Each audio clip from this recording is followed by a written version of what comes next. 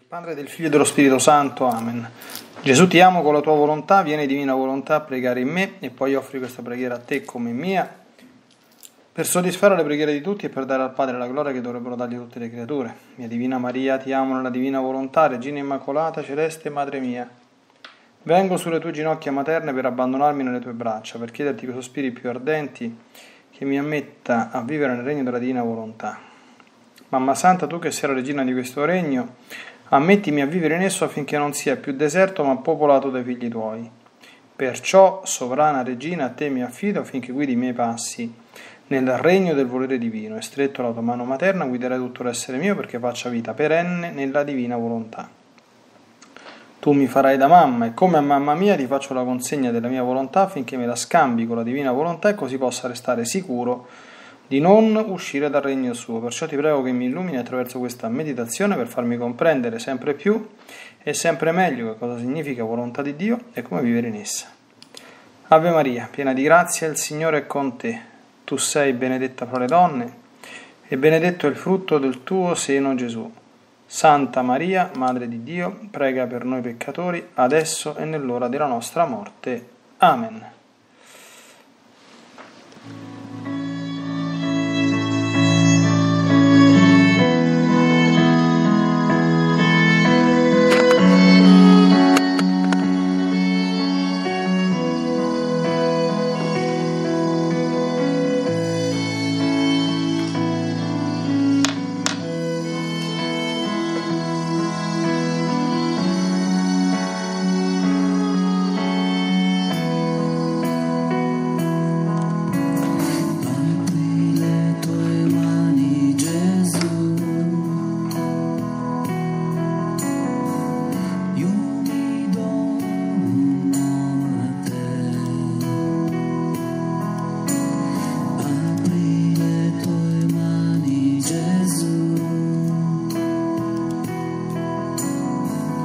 Dal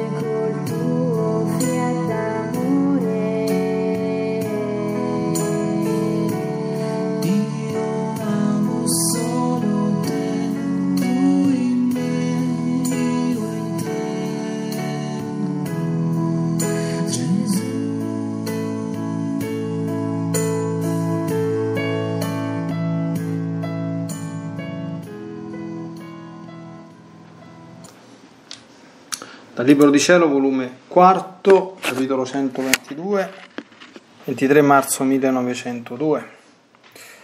Dopo aver molto stentato è venuto il mio dolcissimo Gesù e mi ha detto, Figlia mia, l'appoggio della vera santità sta nella conoscenza di se stesso. Ed io, davvero?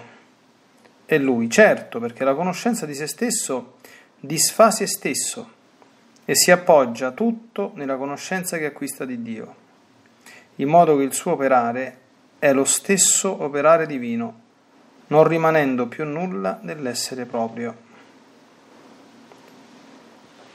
Poi ha soggiunto, quando l'interno si imbeve, si occupa tutto di Dio e di ciò che a lui appartiene, il Dio comunica se stesso all'anima.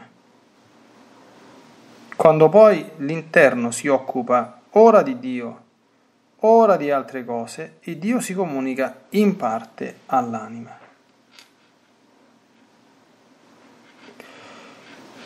Capitolo 123, 27 marzo 1902.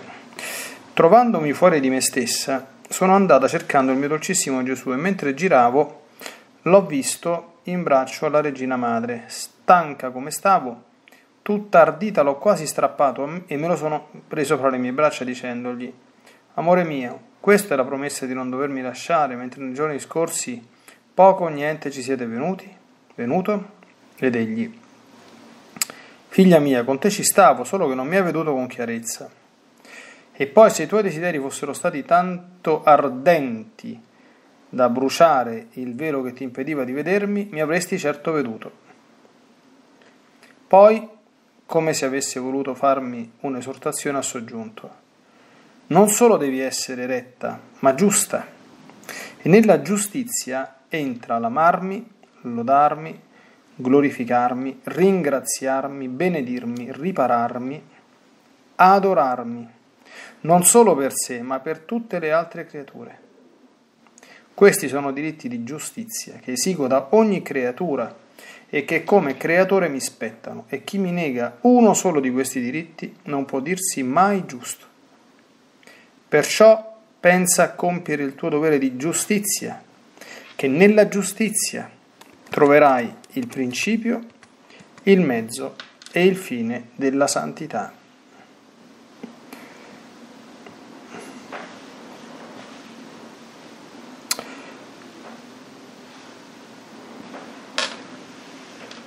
Bene, ci fermiamo subito qui perché questi due capitoletti, nella loro brevità, sono però molto intensi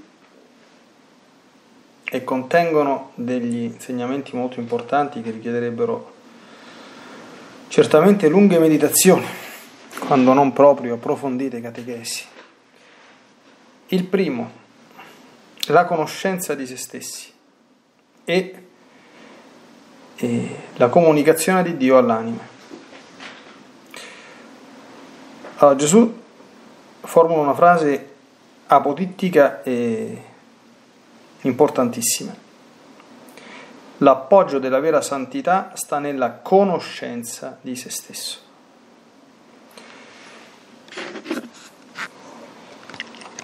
Per comprendere questa conoscenza di se stesso è sempre bene,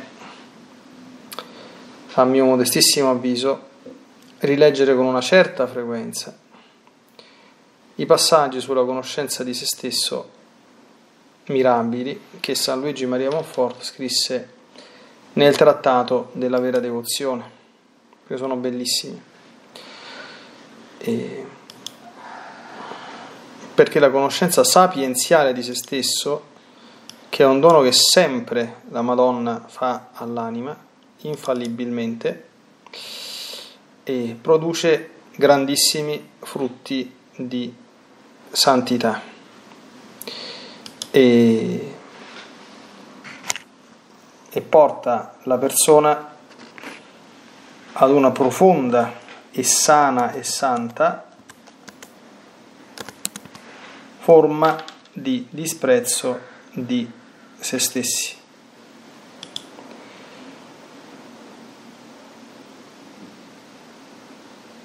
Scrive San Luigi tra le altre cose, con la luce che lo Spirito Santo ti darà a proposito della conoscenza sapienziale di sé, per mezzo di Maria, sua cara sposa, conoscerai il tuo fondo cattivo, la tua corruzione e la tua incapacità di ogni bene se Dio non è il principio come autore della natura e della grazia. Una frase pesantissima questa qui. Cioè qualunque cosa di bene possa uscire da noi, non uscirebbe se Dio non ne fosse il principio, perché ci ha comunque dato delle, dei doni e delle facoltà naturali. Cioè, se io dico una buona parola, io la posso dire anzitutto perché ho le corde vocali e perché ho l'intelletto che mi fa parlare. Ma le corde vocali e l'intelletto che mi fanno parlare non ce l'ho da me stesse, ce l'ho perché Dio me la date. Quindi anche da un punto di vista meramente naturale e della grazia. Perché se la grazia di Dio non mi proviene, non mi accompagna, Dio non mi prende per mano, io non dico buone parole, io dico pessime parole. E ne facciamo continuamente esperienze. Quindi se me ne esce qualcosa di buono, sto agendo sotto ispirazione divina, sotto mozione divina. Non è un qualche cosa che viene da me. E allora che succede? In forza di tale conoscenza ti disprezzerai e riconoscerai la tua profonda miseria. Questo non è il disprezzo distruttivo di se stessi che Dio non vuole, proprio dalle persone depresse o che giungono poi a, addirittura nei casi più gravi a suicidarsi. D'accordo? Questo è un disprezzo malato ed è figlio della superbia o di altre problematiche profonde psicologiche. Questo è il disprezzo santo, cioè il disprezzo soprannaturale, divino. Nella condizione in cui mi trovo di natura decaduta, ma anche se la natura decaduta non fosse, perché questa umiltà ce l'aveva anche la Madonna, io sono il nulla. Proprio il, il sentirsi e riconoscersi tali è una, mm, dire, è una eh, condizione imprescindibile per vivere nella divina volontà, imprescindibile. Perché solo il nulla può essere riempito dal, dal, dal tutto. Prosegue, ti considererai come l'umaca che tutto insudicia con la sua bava,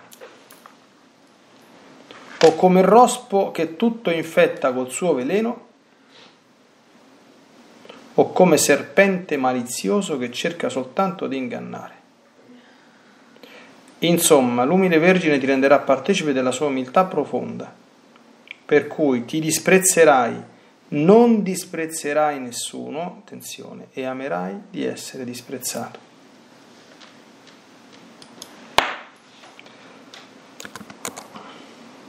In un'altra sezione del trattato, San Luigi rincara la dose prima e contemplando la condizione dell'uomo decaduto, dice queste parole a proposito ecco, della conoscenza di se stessi.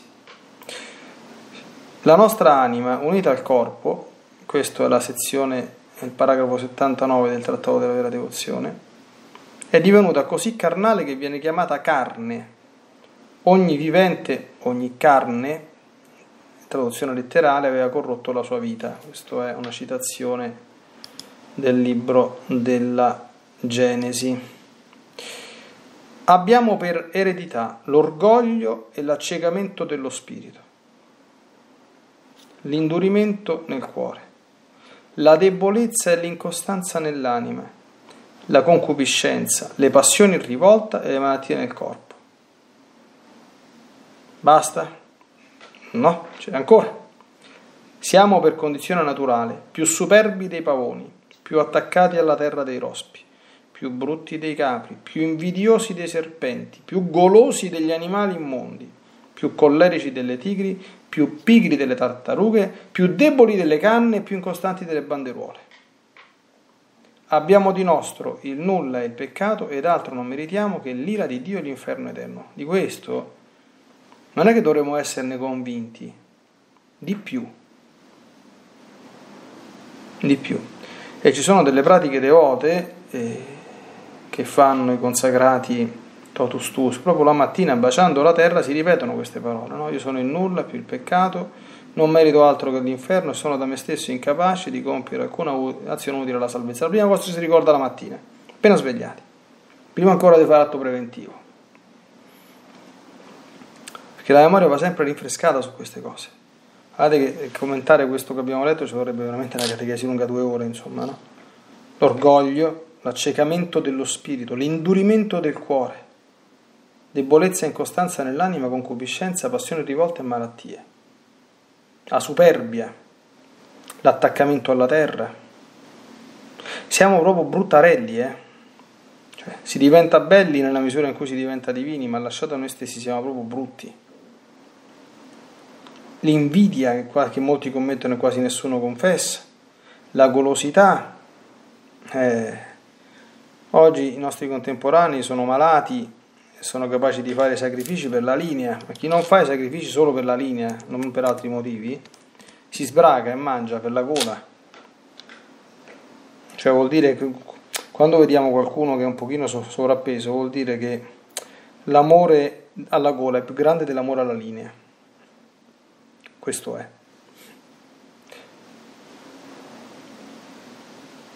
Più collerici delle tigri, l'ira, più pigri delle tartarughe, poi questo, più deboli delle canne, nostra debolezza, e più incostanti delle banderuole, ecco, che eh, cambiano direzione a seconda di come gira il vento senza nessuna resistenza. Ecco, riprendiamo quello che commenta Gesù. La conoscenza di se stesso disfa se stesso, cioè quando uno ascolta queste cose e legge queste cose, disfa se stesso, quindi comincia a concepire, dice, mamma mia, che disastro, ma in senso buono. Non, il, il comportamento che segue questa presa di coscienza non è la disperazione, ma è la vera umiltà profonda di bene, questo io sono e ci penserà nostro Signore a riempirmi di sé, dato che in me non c'è niente. Disfa se stesso e si appoggia tutto nella conoscenza che acquista di Dio, in modo che il suo operare è lo stesso operare divino, non rimanendo più nulla dell'essere proprio. Se io so che sono fatto così, è chiaro che per me sarà molto facile, facciamo adesso gli esempi della vita nella divina volontà, ma io non faccio un atto senza essermi unito prima alla divina volontà, perché non voglio che quell'atto abbia me stesso come principio. Perché se ha me stesso come principio sarà un atto rovinato, sicuramente. Non farò tutto quello che mi passa per la testa così, perché so che i pensieri che mi passano per la testa sono pensieri mossi da queste cose, sono pensieri mossi dalla superbia, sono pensieri mossi dall'invidia, sono pensieri mossi dalla gola, sono pensieri mossi dall'ira, d'accordo? Sono pensieri mossi dal fatto che sono cieco, che sono orgoglioso.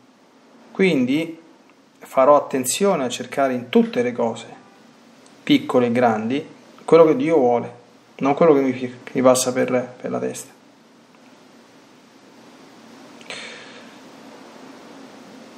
E conscio che se rimango da solo con me stesso combino solo guai, cercherò di stare il più possibile con Dio, anzi, dice Gesù, occuparsi tutto di Dio e di tutto ciò che a Lui appartiene. E qui c'è un amplissimo campo di azione no? nella nostra vita anche comune, quotidiana.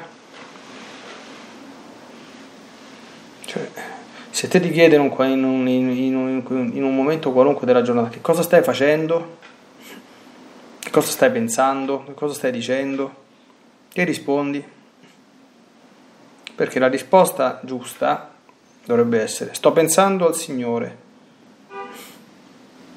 sto parlando del Signore o col Signore e sto operando per il Signore, con il Signore, nel Signore.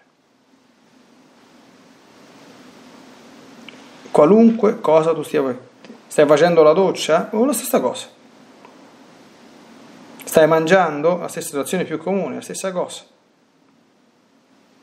Se ti stai tagliando i capelli, la stessa cosa. Poi le cose più importanti, stai lavorando, stai scrivendo, stai viaggiando, stai camminando.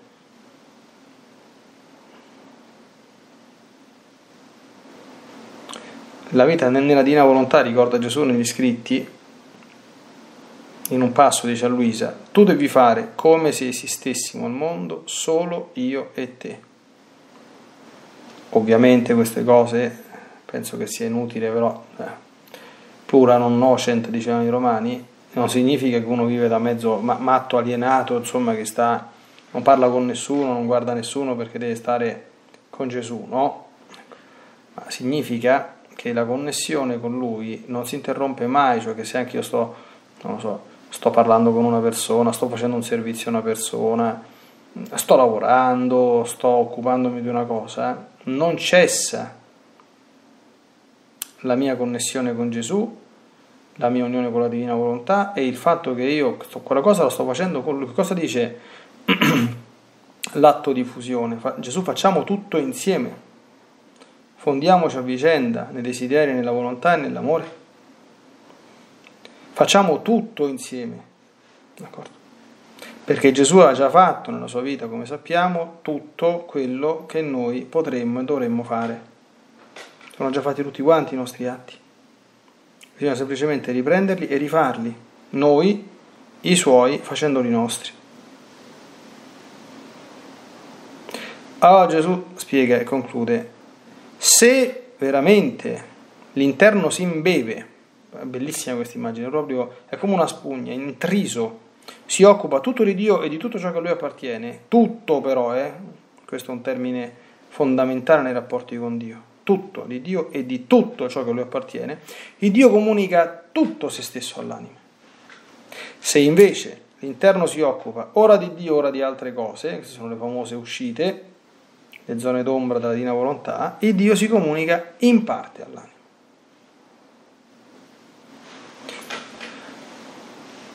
Breve paragrafetto ma molto importante, no? Poi abbiamo l'altro, che se per certi aspetti è ancora, è ancora, è ancora peggio. Allora, Gesù dice, punto primo, Luisa si lamenta come al solito, Gesù gli aveva fatto le promesse, non ti lascerò mai, staremo sempre insieme. E dice, nei giorni scorsi poco o niente ci sei venuto, dice, ma che promesse fai? Interessantissima la risposta di Gesù. Numero uno, con te ci stavo, ma non mi hai veduto con chiarezza. Attenzione, se i tuoi desideri fossero stati tanto ardenti da bruciare il velo che ti impediva di vedermi, mi avresti certo veduto. Mi ha lasciato molto molto edificato e santamente sconvolto questa frase. Sono i desideri che squarciano i veli dei, dei cieli e ottiene grandi grazie da Dio solo chi è capace di desiderare in grande, ma desiderare sul serio. E c'era uno scritto, insomma, nei giorni scorsi, forse ne ho, passato, ne ho parlato anche in qualche altra meditazione perché mi ha lasciato sconvolto di quando Luisa dice scusa un attimo, ma se sta cosa è così bella e così importante, non soltanto perché non l'hai rivelata prima, questo è un altro discorso, ma perché non gliela dai agli uomini? Sbrigati a dargliela, no? Se vuoi, se, se, poi tu ci godi che vivano in maniera divina, se li hai creati per questo, ma scusa, dagliela, no? Prenditelo questo, questo godimento. Dice, ma io non posso dare una cosa di questo genere così. Cioè io posso dare una cosa di questo genere a chi l'ha desiderata con tutto il cuore, a chi è disposto a dare la vita pur di averla. Perché questo è il bene più grande che esiste nell'universo. Non può essere come dire, vissuto o ricevuto in maniera inconscia, inconsapevole o sconsiderata. Perché fa l'esempio, forse l'ho detto nei giorni scorsi, però ne ho parlato talmente tanto di questa cosa che non mi ricordo i contesti, sembra come se tu dessi un assegno di un miliardo di euro a un bambino di 4 anni, di 3 anni, che ora non sa neanche che cos'è un assegno. Quindi che ci fa con l'assegno? O lo strappa e lo butta al secchio, oppure non lo so, vede, vede del fuoco, dice ah, buttiamo un po' e così si ravvia un pochino la fiamma e butta un assegno di un miliardo di euro. Lo può dare a un bambino. Allora, chi molto desidera, chi molto in alto desidera, molto in alto arriva.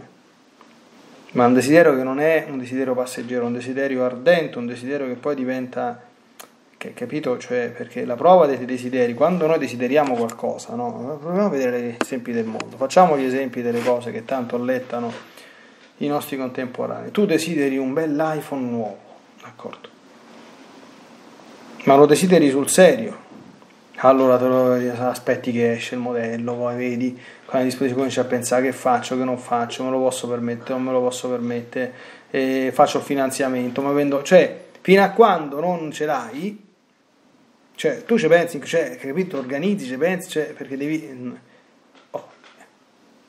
E nei limiti de, de, del possibile, se la desideri tanto una cosa, ci lavori un bel po' Gli uomini questo lo fanno per tutti quanti i, i diletti della vita, oppure chi vuole andare tanto in vacanza in un posto, mette da parte i soldi, eh, cerca i voli più convenienti, non lo so, l'albergo che costa di meno. Adesso pensiamo, no? Quando uno ha un hobby, per esempio, che ci tiene tanto, uno sport, gioca a pallone, va in bicicletta, va a cavallo, non lo so, quello che gli pare.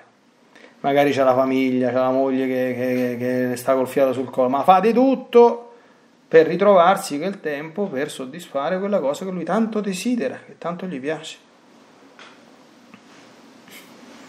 Questi sono i desideri veri, d'accordo? Non è che così dici, ah, sai Gesù, ti desidero tanto, però non me ne frega, non me ne importa, non ci penso mai dalla mattina alla sera, ma che desideri? non lo desideri? È un desiderio passeggero, d'accordo? È una pia illusione, una velleità. Dio non dà cose grandi, se quelle cose non sono profondamente desiderate, cioè quando è venuto il Verbo incarnato? Lo spiega, ci sono gli scritti, dopo millenni di preghiere, di sospiri, di profezie, più 15 anni di atti divini fatti dalla Madonna. Mi ricordate il passo di o cieli, piovete dall'alto, o nubi, fateci piovere, non ce la facciamo più. Qui si campa male, vogliamo essere redenti, ma non c'hai pietà, nostro Dio mio. Insomma, Adamo viene nel, Abramo viene nel 1850 a.C., eh? Sono passati 1850 anni, mica una settimana, insomma, eh? è tanto, tantissimo. Sono tantissimi 1850 anni. Eh, quindi Dio, non, eh, cioè, prima di avere eh, le rivelazioni fatte a lui, se ne sono passate in altri 2000 e tutti gli atti fatti da martiri, cioè da milioni di martiri, santi, penitenze, preghiere, sacrifici e Padre nostri detti, perché noi sappiamo che Gesù come dire, ci ha messo come dire, la santa trappola per la divina volontà, no? perché ce l'ha, ce, ce l'ha messo in bocca nel Padre nostro di chiedere l'avvento di questo regno, anche se non, se non ne capivamo fino in fondo tutte quante le estreme conseguenze, perché adveniat regnum tuum, fiat voluntas tua, sicut in in terra, sappiamo essere il fiat santificante, il regno della divina volontà. Eh, ma quanti padri nostri sono stati detti? Da quando Gesù l'ha insegnato fino a, al, al, 1902, la data di questi scritti, che ancora, ancora non c'è una ancora chiara percezione del dono della divina volontà che, che, che è successiva, è posteriore, viene qualche anno dopo. Quanti padri nostri hanno detto in 1900 anni? Non si sa. Quindi è la forza dei nostri desideri che attira Gesù nei nostri cuori. E chi riceve poco da Gesù desidera poco, ma cosa dice Gesù nel Vangelo quando Maria Maddalena gli va a baciare i piedi, a piangere, quindi a esporsi davanti a tutti, a farsi dire un sacco di parolacce, un sacco di ammiccamenti che gli hanno detti pure a Gesù, che era l'amico della, della, della donnaccia, eccetera, eccetera. Quello a cui si perdona poco ama poco, le sono perdonati i suoi molti peccati perché ha molto amato. Cioè Maria di Magdala, come dire, l'ha conquistato il cuore di Gesù, perché stava capace di dire, ah sì, bene, io non ho fatte di tutti i colori, ma proprio di tutti, ma te faccio vedere io. Io farò, facendo il contrario, mm, andrò oltre nel bene al male che ho fatto. E questo l'ha fatto Maria di Magdala. E che cosa ha conquistato? Ha conquistato il primato, il primato nel cuore di Gesù, eh? Con tutti anche qui, con tutte quante le bestemmie, le bestialità che hanno detto nel corso della storia. Maria di Magdala è stata tanto amata da Gesù, è stata la prima testimone della risurrezione tra le creature, eccettuate la, la Madonna. Eh? Gesù è apparso per prima a lei. E Maria di Magdala, insomma, si è data fa, eh? Quindi non è, non è che scherzava quando era peccatrice. Successo anche in altre circostanze della storia, insomma, con la beata Angela da Foligno, non, ho già parlato in altre meditazioni, insomma, no? Una delle più grandi mistiche di tutti i tempi, insomma, da un punto di vista mistico non c'è niente da invidiare a, a Luisa, eh? Però lei racconta e dice la verità che i primi 30-35 anni della sua vita sono da dimenticare, da stenderci un velo pietoso e così è. Poi Gesù dice un'altra cosa, ultima, e poi chiudiamo. Dice, tu non devi essere soltanto retta, la rettitudine, tu devi essere giusta. Parla della virtù cardinale della giustizia, che noi pensiamo subito, alle... ma qui parla della giustizia verso Dio quella che poi tecnicamente si chiama la virtù di religione, e enumera una serie di obblighi di giustizia, attenzione, eh? di giustizia verso Dio, che noi ci pensiamo poco. Nella giustizia entra l'amarmi, cioè amare Dio è giusto. Giusto vuol dire che cosa dovuta. Lodarmi, glorificarmi e ringraziarmi. Cosa dice il sacerdote nel prefazio? È veramente cosa buona e giusta, nostro dovere, oltre che fonte di salvezza. Dovere rendere grazie sempre in ogni luogo a te, Signore Padre Santo. È un dovere, non è un favore che tu fai. Dice, vabbè, va, oggi mi vado e ringraziamolo ogni tanto il Signore. Va. Cioè, fa, fa, famogli, diciamogli ogni tanto, no, no, che ti dice? Questo è un dovere di giustizia amarmi, lodarmi, glorificarmi, dargli gloria in quello che facciamo, ringraziarmi, benedirmi, ripararmi. Cioè, se abbiamo fatto un guaio, se abbiamo fatto, noi lo dobbiamo riparare per giustizia davanti a Dio. E se non ce la dà il confessore la penitenza, la facciamo noi. E deve essere uguale e contrario a quello che noi abbiamo fatto. La riparazione è un dovere grave, non è un optional. E adorarmi, adorare il Signore è un dovere grave. Cioè, chi non piega le ginocchia davanti a Gesù, perché le ginocchia davanti a Gesù si devono piegare, scrive San Paolo, in cielo, sulla terra e sottoterra, fa una grave violazione alla giustizia dovuta nei confronti, perché le ginocchia dinanzi a Gesù si devono piegare. Noi diciamo ti faccio un favore, faccio genuflessione, eh? però oggi invece non me va e sto in piedi. Sta in piedi è un peccato grave contro la giustizia dovuta al Signore. Non è finito, quindi questa non è soltanto una cosa tua personale. Nella giustizia entra l'amarmi, lodarmi, glorificarmi, ringraziarmi, benedirmi, ripararmi, adorarmi. Non solo per sé, ma per tutte le altre creature. Ecco che qui Gesù comincia a spiegare alcune dinamiche dei giri. Per te e per tutti. Io pellegrinaggio nella divina volontà, tutti quanti i giri che si fanno nel fiat creante, redimezzo, santificante. Perché quello che non fanno gli altri lo fai tu per gli altri. E dice Gesù, quindi, quindi preoccuparti che questo sia fatto bene non solo per te, ma anche per tutti gli uomini che mancando la giustizia non lo fanno nei miei confronti. E tu devi farlo per loro, devi farlo per loro. Capito? E prosegue. Questi sono diritti di giustizia che esigo da ogni creatura. Sono parole forti di Gesù, eh? Diritti di giustizia. Quindi non sono favori. Che io esigo, non è che sai, li chiederei, vorrei, eh, Gesù è diverso, la Madonna non parla mai in questi termini, la Madonna è sempre dolce nel dire le cose, dice sempre vi invito, figli miei, desidero, vi esorto, eh, perché la Madonna, la Madonna non è una dea, è qui Gesù Cristo, certamente Gesù è buono, ma Gesù Cristo è Dio, quindi può esigerle queste cose per giustizia. E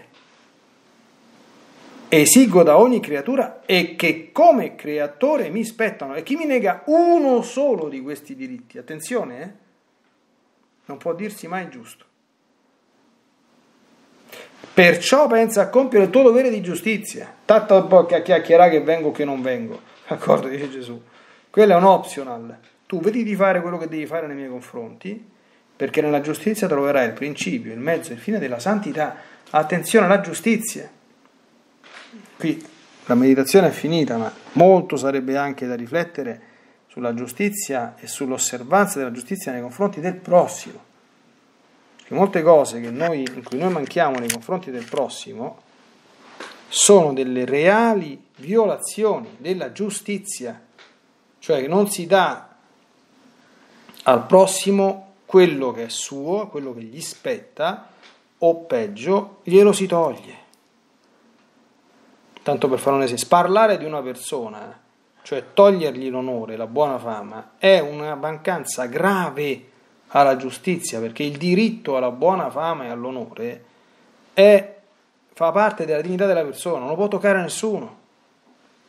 Per cui se tu sparli di qualcuno, se è un ladro, gli togli una cosa che non è tua, ti prendi una cosa che non è tua e la togli a un poveraccio. Bene.